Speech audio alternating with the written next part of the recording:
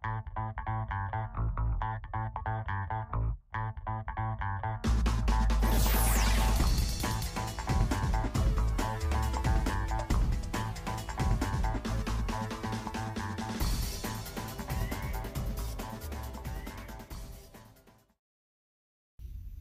everyone, I am Sophia Nicole Sikarating from BSHM2B and now I will discuss about a day in the life of a Hilton Hotel General Manager. So first, let's watch a video about what is General Manager. What is a General Manager? A General Manager or GM is someone in charge of managing a business or a certain area of a company. A general manager makes sure a business works efficiently and is generating as much profit as possible. A general manager is not to be confused with a middle manager or a director. A general manager is not the same as a chief executive officer. A chief executive officer is the top executive of a company. Apple's current CEO, for example, is Tim Cook. Mr. Cook heads the whole company. But Apple has many general managers. They are in charge of different divisions of the company. General managers usually rank above most other employees in a company. However, in most cases, they are below corporate level executives in the chain of command. A general manager typically answers to either the business owners or the corporate executives. General managers have the responsibility of coordinating, planning, and making decisions that are in the best interests of the business. The responsibilities are to take care of the daily operations of the business, create and implement strategies designed to help grow the business, manage staff and projects in the company, and decide on strategies. In very small companies, the general manager might be the person who runs all of it. In large corporations, the general manager is usually in charge of a branch or area. In other words, in a small business, general managers are in charge of more parts of the company compared to those of larger businesses. So, to ensure that guests have a wonderful stay, the general manager is in charge of all daily hotel operations, all hotel services including front desk, housekeeping, maintenance, revenue management, expense management, team building, and staff development. While overseeing the entire operations of the business, a general manager is accountable for boosting productivity and departmental profitability. So now let's watch a video about uh, a general manager in Hilton.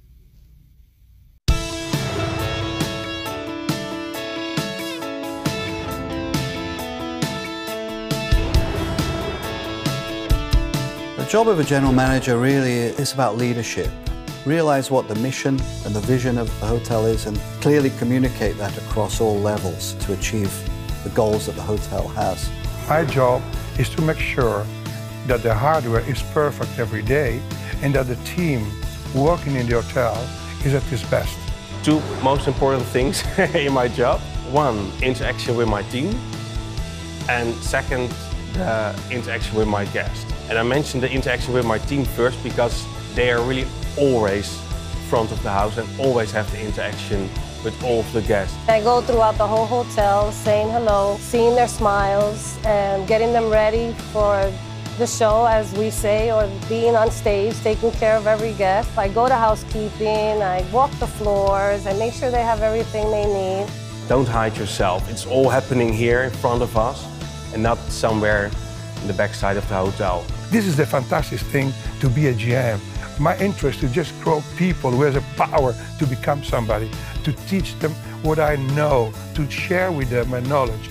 I want to continue inspiring people to feel, wow, my leader really inspires me to continue doing better every day. It's a never-ending circle of quality improvement, of developing our service delivery, working with our chefs, our food and beverage teams to continually push the bar up. That's what really inspires me.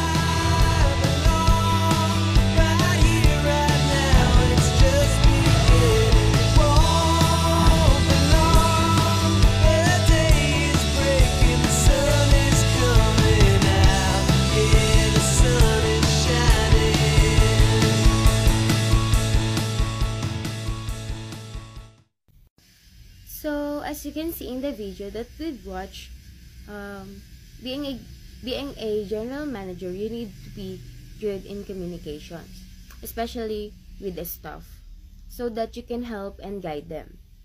So the general manager must be an expert communicator who has a strong ability to delegate responsibility. So now let's watch the last video for our today's presentation. This is about um, a day in the life of a Hilton general manager.